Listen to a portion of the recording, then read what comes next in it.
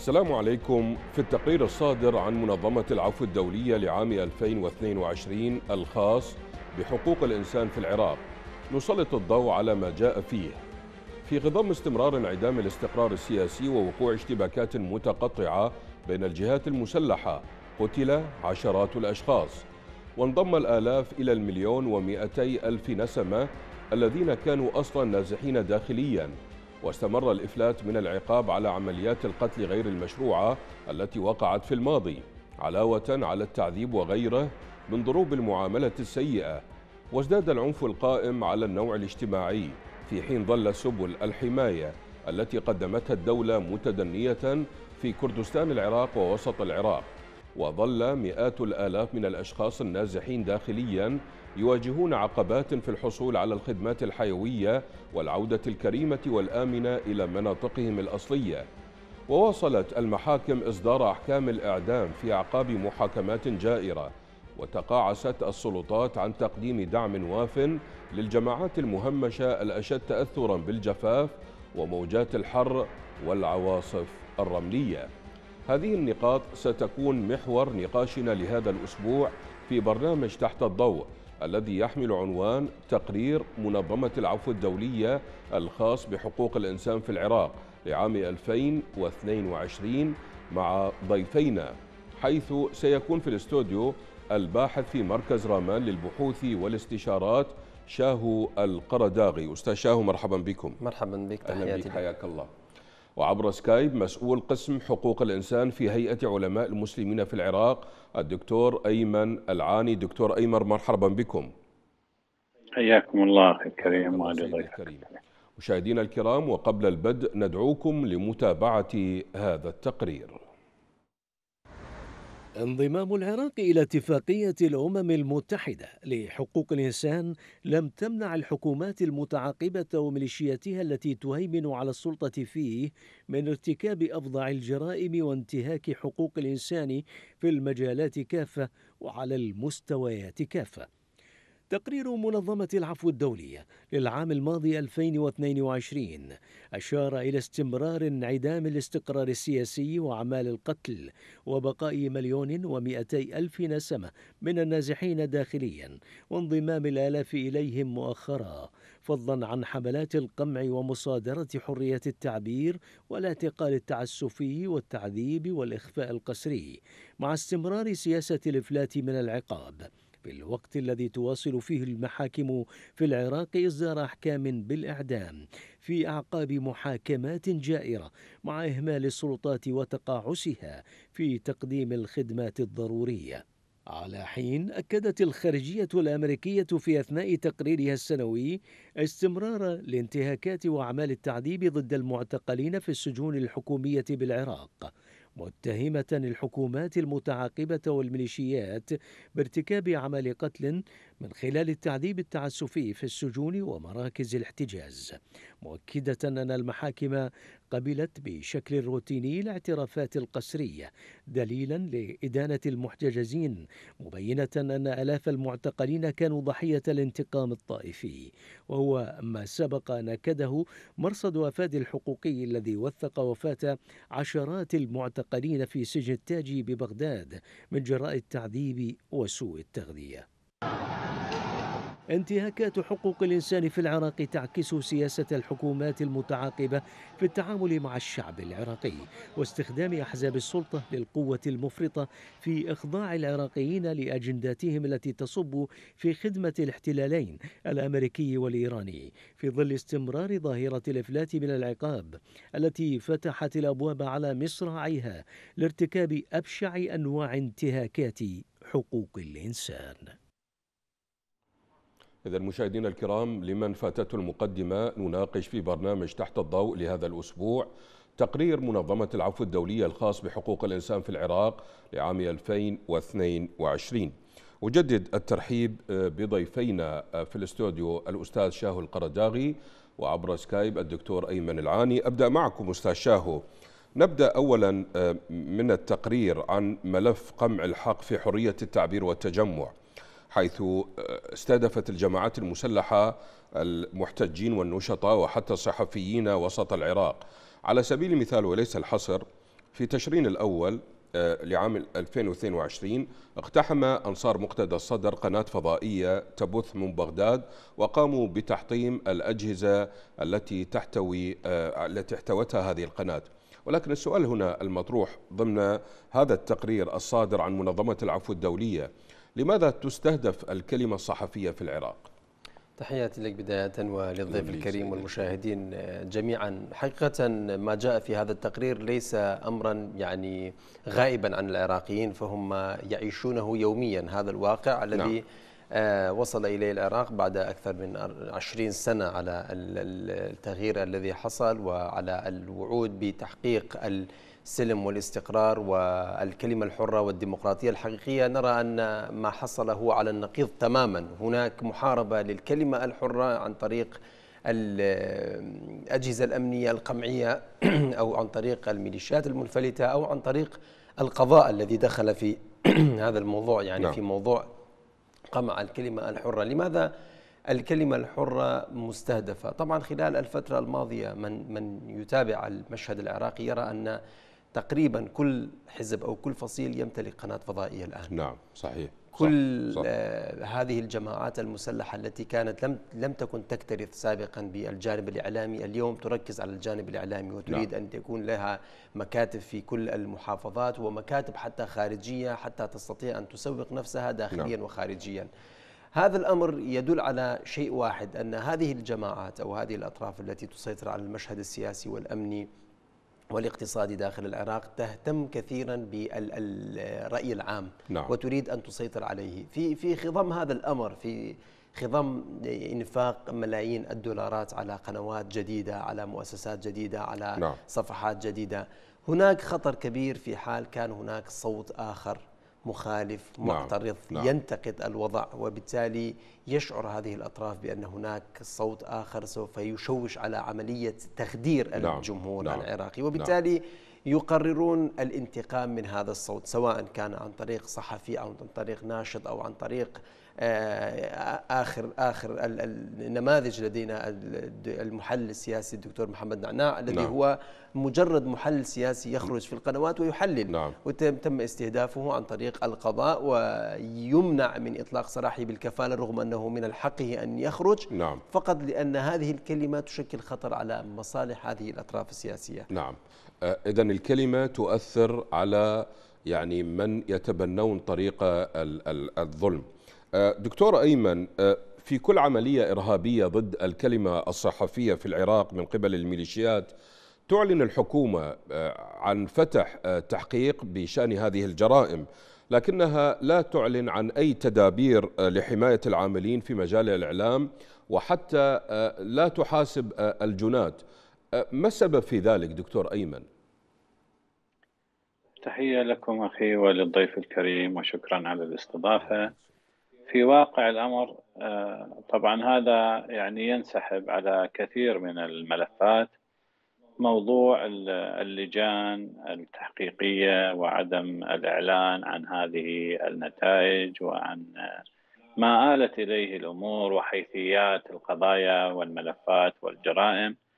وهذا حقيقه يعني باعتقادي أنه أمر ممنهج يراد من اللجان التحقيقية مجرد كسب الوقت وتمييع الموضوع وطبعا سيكون طي النسيان مع مرور الوقت ولهذا الكلام طبعا أدلة كثيرة وإثباتات كثيرة ويعني لدينا الكثير الكثير من هذه الحالات التي يعني على أقل تقدير أو أقرب شيء مثل يعني مسألة قتل المتظاهرين السلميين والناشطين المدنيين والمدافعين عن حقوق الإنسان. كل هذه الأمور جرت يعني آه، لكن ما الذي آه، ماذا كان من أمر اللجان التحقيقية؟ لم يكن هنالك أي نتيجة معلنة أي شيء معلن. آه، الحقوق يراد هدرها آه، يعني ضياع هذه الحقوق هو أمر ممنهج في العراق ما بعد 2003 آه، تعلم جنابك أن هنالك الكثير الكثير من الجرائم التي تحدث بحق المدنيين في العراق نعم. والعراق اليوم من أخطر البلدان يعني في التقرير العالمي الذي يعني ينصح في مسألة السفر. يحذر والعراق منطقة حمراء بهذا التقرير لأنه من المناطق الخطرة جدا ولا سيما في 2023 وهذا طبعا للسنة يعني هذه السنة السابعة عشرة على التوالي. فهذا كله حقيقة بسبب يعني هيمنة الميليشيات وسيطرتها على المشهد السياسي والمشهد العسكري والمشهد الأمني والمشهد الاقتصادي أيضا. فلذلك هذا طبعا متوقع أنه النتائج التي اللجان التي شكلت لا يمكن أن تفضي إلى ما يحقق العدالة ولو بالنسبة للناحية أو الانصاف بالنسبة للناحية القانونية للضحايا وكما ذكرت هذه حالات كثيرة. وهذا هو المعتاد حقيقة. لو كان الأمر غير ذلك لكنا استغربنا لكن هذا الأمر الذي اعتدنا عليه كل المشاكل وكل الملفات وكل القضايا وكل الجرائم التي جرت فيها تشكيل لجان تحقيقية وما إلى ذلك. كلها حقيقة أصبحت طي النسيان ولم يعلن عن أي نتائج بهذا الصدد. ولا يمكن أن يكون هذا إلا امرا ممنهجا يراد منه هدر الحقوق وضياعها نبقى في نفس الموضوع وهو الانتهاكات التي تحدث وهناك لجان فضائية تشكل بعد كل جريمة ولكن لا تعلن عن اتخاذ أي تدابير حقيقية تجاه محاسبة الجناه. في الملف الثاني بشأن تقرير منظمة العفو الدولية وسؤال موجه لكم دكتور أيمن هو الإفلات من العقاب. هل تعتقد أن الإفلات من العقاب شجع العديد من الميليشيات على ارتكاب عمليات القتل غير المشروعة سواء في الاحتجاجات أو غير الاحتجاجات دكتور أيمن؟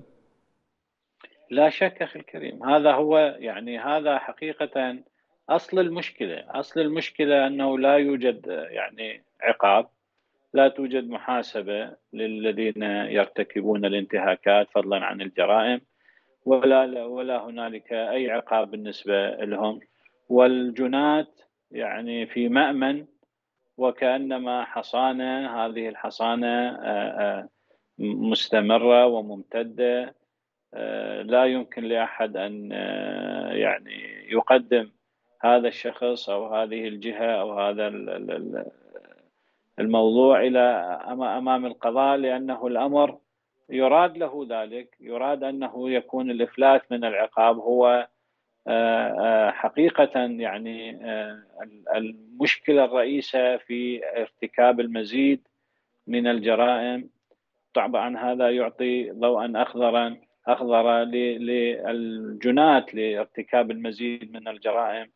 والأيام حقيقة يعني منذ عشرين عاما لم يقدم أي مرتكب حقيقي أو يعني أمام القضاء ولم يعني هذا طبعا مسألة بقدر ما هي مستغربة بقدر ما هو واقع حال في العراق ما بعد 2003 لماذا كل هذه الحصانة؟ ولماذا هذا الإفلات المطلق من العقاب؟ ولماذا هذا الأمور؟ لأنه يعني جنابك كثير من الحالات القضائية والجرائم والأمور الجنائية والتفجيرات وما إلى ذلك كلها حقيقة. يعني مسار التحقيق فيها أمور معروفة ومعلومة لدى جميع الأطراف. لكن لماذا لم يحدث هذا لم يعني يتم هذا المسار بشكل طبيعي؟ في العراق؟ لماذا لم يتم تسمية أو توجيه الاتهامات إلى جهات بالفعل يعني متورطة بهذه الجرائم. لماذا لم يتم نعم ملاحقة؟ دكتور ومثل ما يقول المثل العربي من أمن العقاب أساء الأدب أنتقل إلى الدكتور إلى الأستاذ شاه القرداغي. أستاذ شاهو هل تهديد النشطاء من الذين خرجوا في الاحتجاجات ما كان ليحدث لولا معرفة الميليشيات والجهات المسلحة التابعة للأحزاب بأنهم سيفلتون من العقاب؟ أستاذ شاهو آه، الإفلات من العقاب أصبح يعني عرفا متبعا في العراق خلال نعم. الفترة الماضية وطبعا هذا الأمر معروف عند جميع العراقيين وليس فقط عند الفصائل والجماعات المسلحة ولكن المشكلة في الوضع في وضع الميليشيات والفصائل المسلحة هو أن أنهم يمتلكون يعني حصانتين نعم. أولا الحصانة الدينية التي يعتبرون أن هناك فتوى مقدسة هم تشكلوا بموجب هذا الفتوى 2014 نعم. بعد ظهور داعش وبالتالي نعم. هذه الفتوى توفر لهم الحصانة الكاملة من أي محاسبة يعني هم يعتمدون على هذا الأمر على الرغم من أن هذه الفصائل أصلا كانت موجودة قبل صدور الفتوى نعم. يعني كانت نعم. موجودة ومنتشرة وتسيطر على المناطق ولكن تستغل هذا الأمر حتى توفر القداسة القدسية لنفسها وتمنع أي طرف من المساس بها. الأمر الثاني أنها دائما عندما يعني ترتكب الكثير من الجرائم هي تدعي أنها جزء من كيان أو تعتبر نفسها جزء من القوات المسلحة وهي فعلا قانونيا نعم. جزء من القوات المسلحة وبالتالي نعم. لا يستطيع أحد أن يحاسب أفراد القوات المسلحة سلام. لأنهم في مهمة مكافحة الإرهاب. طيب. يعني بهذه الحصانتين هم نجحوا أن يعني يضمنوا الإفلات من العقاب ويضمنوا أنهم لا يوجد أحد يحاسبهم نعم. وحتى يعني أنا آه، لنذكر مثالا وهو حالة استثنائية يعني في زمن آه، رئيس الوزراء السابق مصطفى الكاظمي نعم. رأينا اعتقال قاتل الخبير الاستراتيجي هشام الهاشمي هاشم. نعم. على الرغم من أنه يمثل مجموعة كاملة ولا يمثل من فرد سلك الشرطة هو ضابط تماما شرطة. نعم. ضابط شرطة هو يمثل جماعة كاملة لا يمثل فرد واحد نعم. ومنظومة أو أو تركيبة صدور أو الوصول إلى هذه النتيجة هي يعني ثلاث مراحل أولا المرحلة الأولى أن يصدر فتوى شرعية من أي مرجع وكان هناك اعتراف بأنه خارج الحدود نعم. بشرعنة قتل المعترضين أو المنتقدين للعملية نعم. السياسية نعم. ثانيا التحريض هناك وسائل إعلامية رأيناها في تليجرام في باقي القنوات الفضائية نعم. قناة أنوار غيره من القنوات نعم. التي حرضت المرحلة الثالثة هي مرحلة التنفيذ أنت تترك كل هذه المراحل وكل هذه المنظومة الكاملة التي تقوم بالتنظيم والتخطيط والترتيب وبعدها تقوم بالتنفيذ وتأتي بالشخص المنفذ نعم، فقط نعم. نعم. وتريد أن تحاسبه ورغم ذلك إلى الآن نعم. تأجيل مستمر وكل جهة تقول أن المتهم عندي أو المتهم عند الطرف الآخر و هناك يعني أقاويل تتحدث أن لا يوجد هو في السجن تماما الذي قتل آه، هشام الهاشمي لا يوجد في السجن هو غير موجود في السجون حسب الأخبار تصريح وزارة العدل التي نعم. نفت أن تكون عند وزارة العدل باعتباره لم يحاكم يعني لم يصدر عليه حكم نعم. حتى يكون عند وزارة العدل يفتح مجال أمام التبرئة لأنه يقول إلى الآن لم يصدر حكم عليه حتى يظهر هل هو مجرم أو هو بريء نعم. يعني هذا الأمر وارد جدا أنا ذكرت هذا المثال ك يعني كمثال أنه حتى في حال تم اعتقال المجرم أو من ارتكب هذه الجرائم فإنه لن يتم محاسبته أو أحيانا كثيرة نرى أنه يسهل له الهروب إلى خارج العراق خاصة إيران نعم. نعم. وبعدها سيعود آه، طيب. بصفة أخرى قاسم مصلح نعم. نموذج الأنبار والتورط في الكثير من الجرائم خرج منتصرا والآن موجود على رأس مهامه. نعم. وبالتالي هذا يعطيك إشارة واضحة أن الإفلات من العقاب أصبح عرفا سياسيا وعاد لا يمكن الخروج عليه. طيب طيب. آه، آه، دكتور أيمن الملف الثالث يتحدث عن التعذيب والمعاملة السيئة خاصة في السجون. هناك آه، لجنة تسمى مناهضة التعذيب التابعة للأمم المتحدة في ملاحظاتها الختامية تتحدث ونشرت في الخامس عشر من حزيران 2022 هي قلقة من استخدام التعذيب على نطاق واسع لا سيما خلال مرحلة التحقيق في أماكن الاحتجاز الرسمية وغير الرسمية في شتى أنحاء العراق، هذا هذا هكذا يقول تقرير لجنة مناهضه التعذيب. ولكن هل يمكن اعتبار أن التعذيب الذي يجري في المعتقلات والسجون الحكومية والسجون الميليشياوية هو تصرف آه، شخصي مثل ما يزعمون وهي حالات فردية؟ الحقيقة هذا مسألة التعذيب في السجون الحكومية هو بشهادة الأمم المتحدة التي تتبع لها آه، لجنة مناهضة التعذيب نعم. بشهادة الأمم المتحدة هذه الحالة هي حالة عامة في السجون الحكومية سواء المعلنة أو حتى السرية لكن نتحدث هنا عن السجون الحكومية المعلنة. آه، هذه الحالة عامة آه، طبعا الجميع لديه ثقافة التعذيب. آه، القضاء لا يأبه لشكاوى المتهمين من قبل أثناء المحاكمات بحال أنهم يعني قدموا أدلة ورأوها القضاة بأم أعينهم لكن مع ذلك يتم تجاهل كل هذا الموضوع. لماذا؟ لأن هذا الأمر حقيقة هو أمر سائد الأمر يعني آه، واسع الانتشار. آه، أي مركز توقيف اليوم أي مرفق للاحتجاز أي سجن أي سجن مركزي هو الجميع حتى المحكومين. حتى من حكم عليه هو يتعرض إلى التعذيب والتعذيب المتكرر والتعذيب الوحشي. حتى هنالك حقيقة يعني آه، الكثير من القضاة ومن الجانب الصحي الأطباء وحتى المحققين كلهم آه، يعني آه، منهم طبعا من يعني يعني أراد أن يبرئ ذمته ويفصح عن ما يجري داخل تلك السجون وهنالك الكثير الكثير من هذه الشهادات التي تثبت أن التعذيب نادرا حقيقة يندر ما لم يتعرض المعتقل إلى التعذيب، هذه حالة نادرة، هذه الحاله الفرديه. نعم. أما الحالة الشائعة والحالة السائدة هو تعرضهم للتعذيب والتعذيب بشتى أنواعه. التعذيب الجسدي والتعذيب النفسي والاعتداءات بأنواعها والاعتداءات الجنسية والاغتصاب وما إلى ذلك. حقيقة الكثير من الشهادات يعني يقف الضحية عند هذا الموضوع ويقول أنا يعني لا أستطيع الحديث حقيقة أمور أخجل منها. هذا كله واقع الحال في السجون العراق في سجون العراق السجون الحكومية المعلنة في العراق وهذا هو الذي آه، يعني لذلك هذه السجون هي آه، أماكن للانتقام من المعتقلين ابدا لم تكن أماكن للتأهيل وللإصلاح و آه، يتعرض داخلها المعتقلون لشتى أنواع التعذيب نعم. ولاساليب الابتزاز نعم. بأمور حقيقة يعني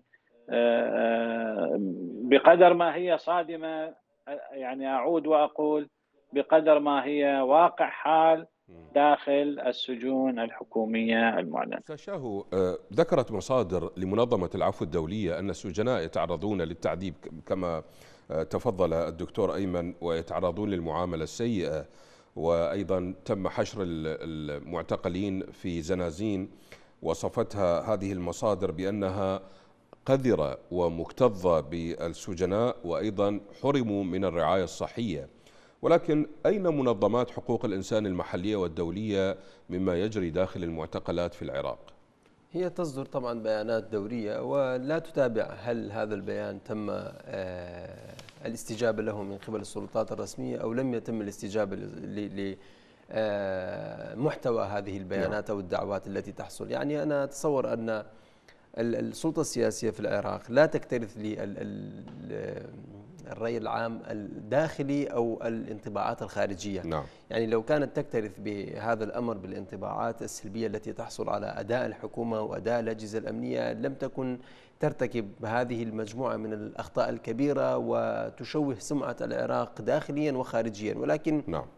المنظومة السياسية بشكل كامل ليست مثل الدول المحترمة التي تخشى من تقرير أو تخشى من انتقاد دولي بخصوص ملف حقوق الإنسان نعم. تخشى من سمعتها لأنها حكومات ديمقراطية حقيقية تقدس الفرد وبالتالي تعمل كل شيء حتى يبقى الفرد يعني محصنا من كل أنواع الانتهاكات. هنا بالعكس هنا التجاوزات مستمرة ويومية ليس من قبل جهاز أمني واحد بل من قبل كافة الأجهزة الأمنية. هناك انتهاكات في كل أروقة الدولة والمؤسسات والسجون وبالتالي هي ليست لديها هذا الخوف من تقارير دولية تنتقد الوضع الأمني أو الوضع الاقتصادي أو الوضع الانتهاكات الحقوقية. يعني نحن يوميا هناك تقارير أحيانا دورية أسبوعية لهيومن رايتس ووتش تتحدث عن انتهاكات هنا نعم. وهناك نعم. وموقف هنا بعد هذا التقرير لا يوجد ردة فعل حكومية نعم. للاستجابة نعم. أو لمعالجة محتوى نعم. هذا نعم. التقرير نعم. وبالتالي لأنها لا تكترث بالسمعة يعني نحن الآن إذا رأينا يعني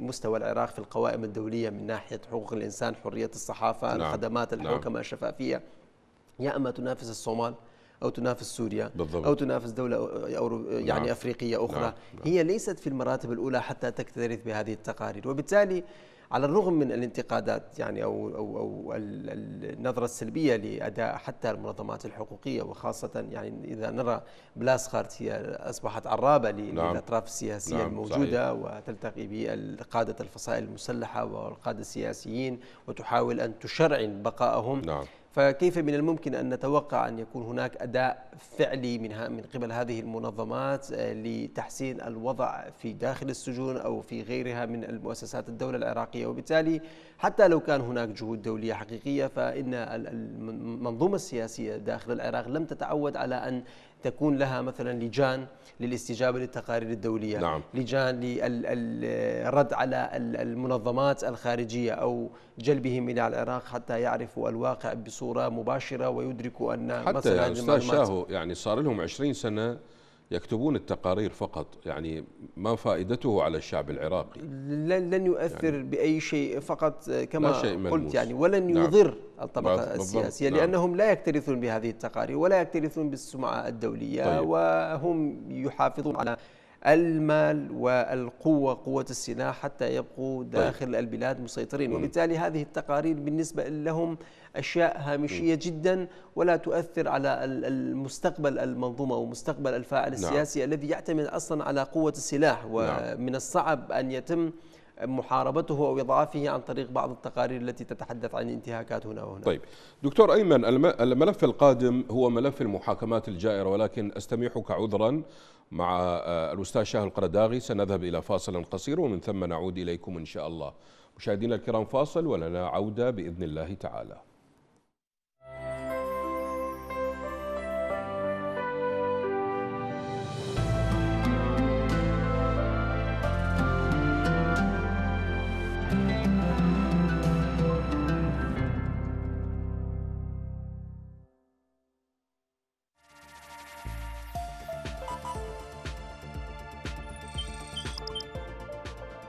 مشاهدينا الكرام في الوطن العربي يمكنكم متابعة بثنا على مدار القمر نايل سات على التردد 10727 الاستقطاب أفقي.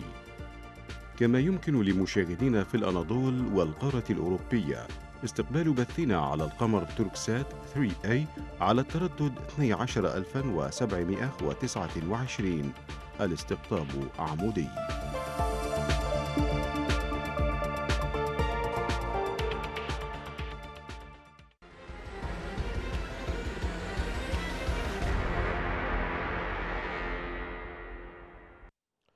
بكم من جديد نناقش في برنامج تحت الضوء لهذا الأسبوع تقرير منظمة العفو الدولية الخاص بحقوق الإنسان في العراق لعام 2022 دكتور أيمن آه، الملف القادم هو ملف المحاكمات الجائرة. آه، آه، تجري محاكمات ولكن وسط بواعث من القلق بشأن حقوقهم في المحاكمة العادلة بما فيها الحق في إعداد دفاع وافي. ولكن من يتحمل مسؤولية عدم إعطاء الحق للمتهم في الدفاع عن نفسه؟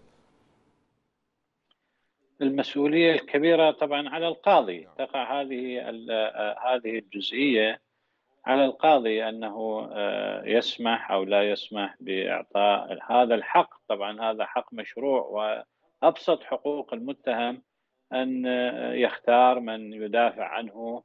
وحقيقة الأمر المحاكمات في العراق هي محاكمات آه، تعلم جنابك أنه يعني المحاكمات العادلة التي توصف بالعادلة هي لها طبعا ضوابط ولها مقومات ولها أمور مثلا كالاستقلالية والحياد والمهنية وإعطاء المتهم الحق في المشروع حقوقه كاملة سواء يدافع عن نفسه أو يعبر يعني يختار من يدافع عن نفسه عن عنه أو هو يعبر عن نفسه بما يريد. هذا كله حقيقة مفقود في العراق. يعني كلها آه، آه، محاكمات سريعة محاكمات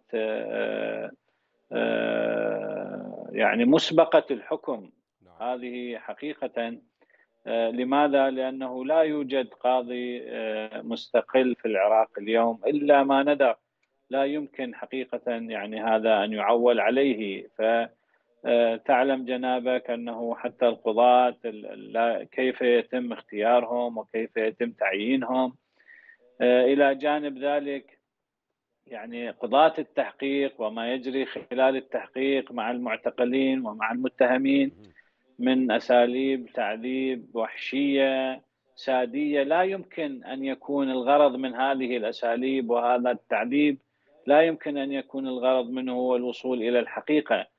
ابدا. هو المراد منه التنكيل بالمعتقد الانتقام منه النيل منه ويعني النيل من كرامته وهذا هو الجاري. يعني هو فلذلك المحاكمات في العراق هي محاكمات لا يعول عليها دوليا. جنابك تعلم أن هنالك الكثير من غير العراقيين.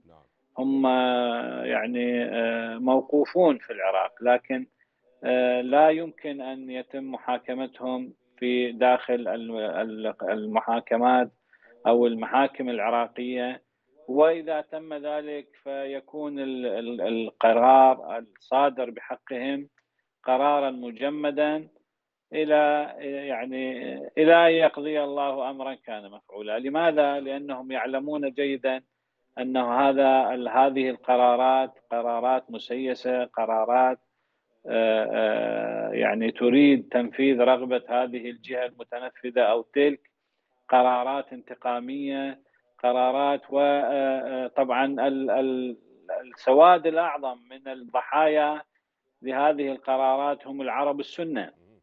وهذا أيضا طبعا آه، لا يعني آه، ينسحب بعدا طائفيا. وهذا معلوم في العراق ما بعد 2003 كيف تأججت الطائفية وكيف يعني حلت محل الوطنية بالنسبة للحكومات المتعاقبة.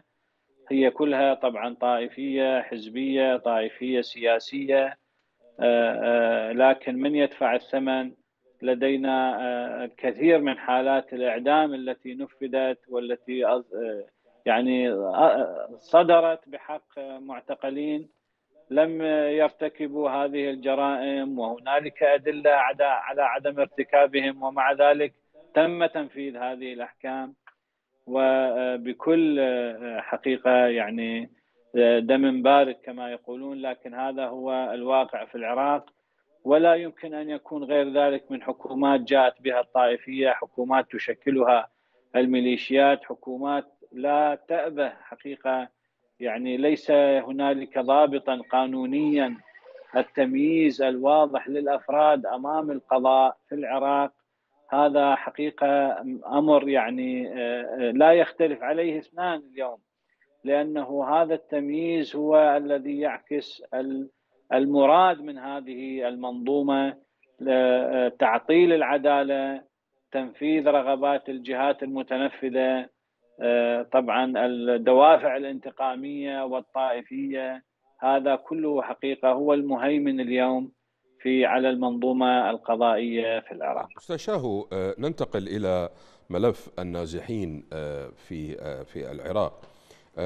هناك عقبات تواجه عودة النازحين إلى مناطقهم خاصة في محافظات الأنبار ودياله وصلاح الدين ونينوى ويعني هناك مخاطر الاعتقال التعسفي بعد عودتهم إلى مناطقهم الأصلية لماذا يستهدف النازح بعد بعد عودته إلى منطقته ويهدد بالاعتقال وأيضا يتعرض للمضايقات من جانب الأجهزة الأمنية أو من جانب الميليشيات المتواجدة على تلك الأرض ما السبب في ذلك؟ لأن المطلوب عدم آه، عودة النازح إلى هذه المناطق التي تم يعني احتلالها بفرض القوة. يعني على سبيل المثال نحن لو تحدثنا عن منطقة جرف الصخر نعم. التي تعتبر الآن محورا رئيسيا للنقاشات والصراعات السياسية آه، على الرغم من الوعود والتعهدات وتدخل الأطراف الدولية أحيانا يمنع منعا باتا عودة المواطنين إليها لأنها تحولت مع مرور الوقت إلى منطقة عسكرية معزولة من السكان وفيها مراكز عسكرية فيها أماكن لصنع الأسلحة وأيضا لتجارة المخدرات للأنشطة الغير مشروعة. كيف يتم السماح لأهالي هذه المنطقة أن يعودوا إليها ويكشفوا هذه الأمور. وكيف نعم. تتخلى هذه الميليشيات عن هذه المنطقة الاستراتيجية التي سيطرت عليها؟ بالعكس هي تفكر أن تزيد تكرر نفس السيناريو في الطارمية في مناطق أخرى. يعني هي تريد أن تكرر نموذج سيء في مناطق أخرى, أخرى من العراق. نعم. طبعا هذه ملف النازحين لوحده آه، يشكل يعني جيبا أو مصدرا للفساد والمال للكثير من السياسيين. وبالتالي هناك الكثير من السياسيين الذين يريدون إبقاء هذا الملف كما هو. إضافة إلى أن أداء آه، وزير وزارة الهجرة والنازحين نرى والمهجرين نعم. المهجرين اداء نعم. أداء الوزيرة يعني أداء سيء للغاية. يعني أنا أتذكر في ديسمبر العام الماضي هي تعهدت نعم. في بإغلاق ملف النازحين وخاصة جرف الصخر جرف الصخر خلال ستة أشهر. الآن مضى أكثر من آه، ثلاثة أو أربعة أشهر على هذا الوعد وبقي شهران وأنا أجزم أنها لن تستطيع أن تحقق هذا الأمر. هي لا تستطيع أن تقوم حتى بتحقيق وعودها التي تطلقها كمجاملة للمواطنين أو نعم. مجاملة للأطراف السياسية. وبالتالي هناك يعني إيرادات أقوى حتى من الوزارات في إبقاء هذا الملف معلقا. يعني إبقاء الآلاف من المواطنين في خيم النزوح وهم يعانون في في في في الصيف من الحر نعم. وفي الشتاء من الأوضاع المزرية التي رأيناها. ولا يوجد للأسف طرف حقيقي يعني يصر على إعادة أو حل هذا الملف. يعني حتى الأطراف السياسية التي تدعي أنها تريد معالجة هذا الملف تستخدمه كورقة سياسية أو هو ملف النازحين هل يمكن أن نطلق عليه بأنه ورقة سياسية تماما يد السياسيين والأحزاب المتنفذة تماما للأسف م. يتم إثارة هذا الموضوع كما نرى الآن في موضوع يعني جرف الصخر وبعدها بقليل يتم التخلي عن الملف بعدما يصل المتصارعون إلى مساومات م. معينة في ملفات أخرى يعني للأسف دائما في أوقات الانتخابات في الأوقات الصراعات السياسية. يظهر هذا الملف فجأة وثم يسد وينغلق بدون أن يعالج. وهذا دليل على أن الطرفان يعني الأطراف السياسية نعم. بكافة الأطياف هي تستخدم هذا الملف للأسف كورقة سياسية كورقة ضغوطات. كتصفية للحسابات ولكن من يدفع ثمن هذا الأمر هو النازح الذي يعاني من من غياب الخدمات من نعم. غياب البنى التحتية من غياب آه، توفير مستقبل يعني جيد لأبنائه وبالتالي هو يبقى معلقا لا أن يعود إلى آه، مناطقه ولا أن يتم مساعدته في توفير حياة بديلة عن هذا الحياة حتى المساعدات التي يؤخذ من الأطراف والجهات الدولية بحجة النازحين تم سرقتها إذا تذكرنا العقود التي كانت متعلقة بالخيم الفاسدة نعم. نعم. وسرقة الملايين أيضا من هذه العقود وبالتالي حتى خدمة النازحين يتم استغلال هذا الأمر لأخذ المساعدات للإثراء على حساب إذلال المواطنين أكثر فأكثر طيب. وبالتالي نعم. هناك عدة أطراف مستفيدة من هذا الملف وهذا ما يجعل الملف نعم. عالقا ويعني ليمنع من الوصول إلى أي معالجة طيب. دكتور كريم. أيمن أستعير آه، مما تفضل به الأستاذ شاهو القرداغي هناك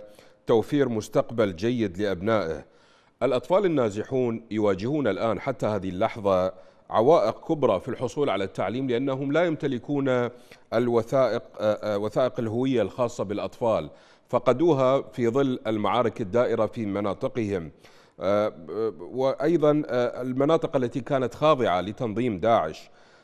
عدم التحاق أطفال كثيرين بالمدارس كيف سيلقي بظلاله على مستقبل هؤلاء الأطفال وعلى المجتمع العراقي بعد 10 15 سنة؟ كيف تراه؟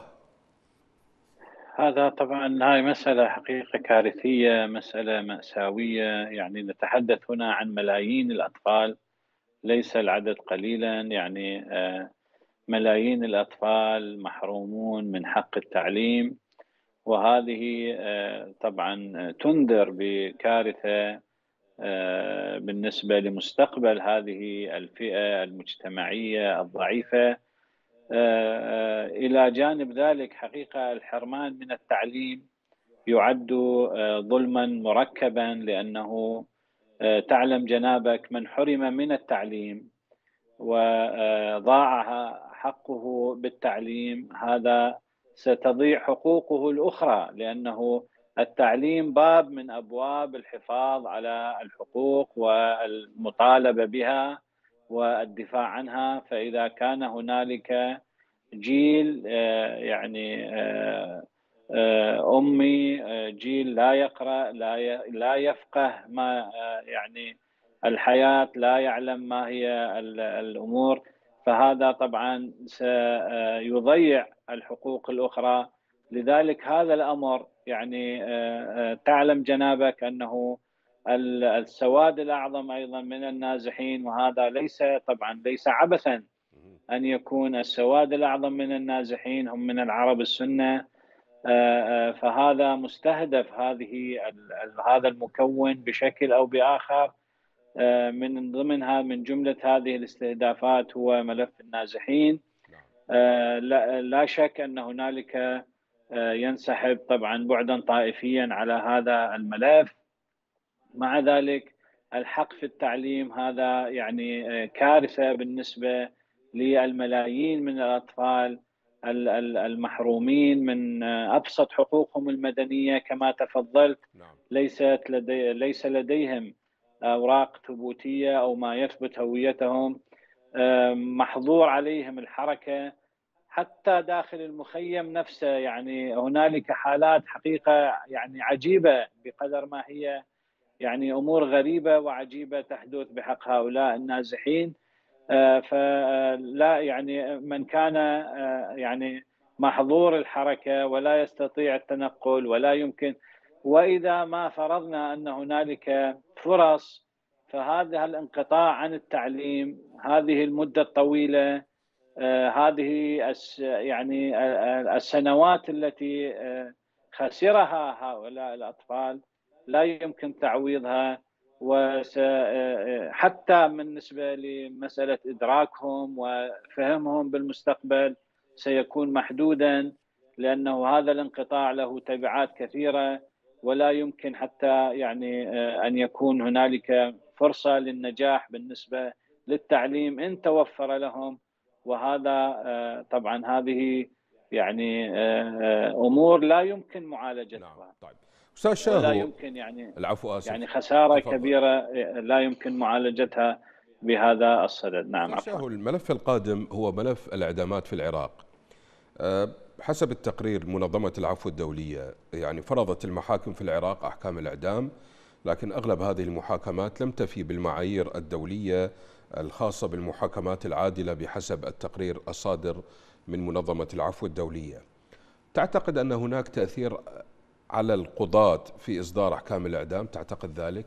القضاة كيف وصلوا إلى هذا المنصب هذا الأمر نعم. مهم يعني هناك معايير للاستقلالية معايير للحياد معايير للكفاءة يجب أن آه، يمر يعني الشخص بهذه المعايير حتى يصبح قاضيا للأسف التزكية الحزبية الآن موجود في العراق وفي كافة مناطق العراق والجميع يعلم هذا الأمر حتى ال ال هادي العامري زعيم يعني تحالف الفتح مرة ذكر أن آه، كانوا يمارسون الضغوطات على القضاة يعني هو بلسانه يقول هذا الأمر ولا نعم. أحد آه، يعني يفتري على المنظومة السياسية نعم. بأنهم يضغطون على القضاة وما يؤكد هذا الأمر عمليات التصفية التي استهدفت هذه الشريحة فترة من الفترات يعني نعم. كان هناك قضاة يحافظون على نزاهتهم على مبادئهم على حيادهم ويرفضون الإملاءات السياسية أو الإملاءات الميليشياوية وبالتالي يتم تصفيتهم نعم. أو قتل أبنائهم كرسائل تهديد لهم وبالتالي هم يعزلون ويستقيلون ويبتعدون عن المشهد بصورة كاملة بلا شك أن هناك تأثيرات كبيرة على القضاة لإصدار هذه الأحكام وهي التي تؤثر بشكل كبير على قراراتهم وهم لا يستطيعون أن يتمردوا على هذه الضغوطات نعم. الكبيرة التي تصل أحيانا إلى القتل وتصل إلى أحيانا إلى التصفية الجسدية أو آه، تصفية عوائلهم وبالتالي هذا الأمر يؤكد على أن البيئة البيئة ليست بيئة سليمة لإصدار يعني قرارات وأحكام عادلة بحق المتهمين سواء نعم. في هذه القضايا أو في قضايا أخرى يعني ليست هناك بيئة سليمة يتمتع فيه المتهم بكافة الأدوات نعم، للدفاع نعم. عن نفسه وأيضا الطرف الآخر يكون مؤهلا بأن يستطيع أن يصدر هذه الأحكام. وخلال الفترة الماضية رأينا الكثير من المواقف يعني كانت الأحكام القضائية التي تصدر كانت في مصلحة طرف سياسي على حساب ظرف طرف آخر. يعني حتى أصبح القضاء بدل أن يكون هو الأساس للدولة أن يكون محايدا مستقلا يحظى باحترام المواطنين بثقة المواطنين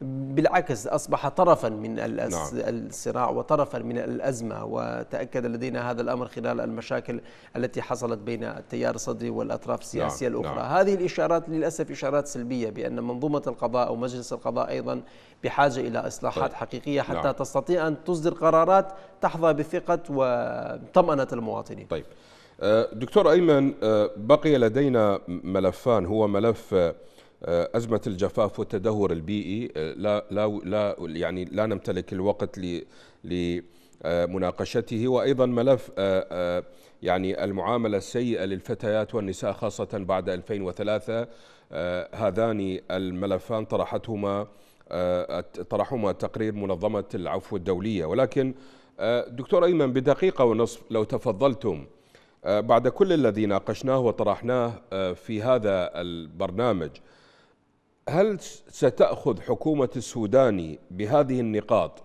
التي طرحتها منظمة العفو الدولية وبالتالي تصلح من شأنها هل بالإمكان ذلك؟ أخي الكريم يعني لا حكومة السوداني ولا الحكومات السابقة هي حكومات تستطيع أن يعني آه تأخذ هذه المواضيع بشيء من الجدية لأنها ليست معنية بها بشكل أو بآخر. هنالك مسألة رئيسية يعني أصيلة في الموضوع هذه الحكومات لم تأتي بتفويض من الشعب، هذه الحكومات لا تمتلك أي أولويات وطنية.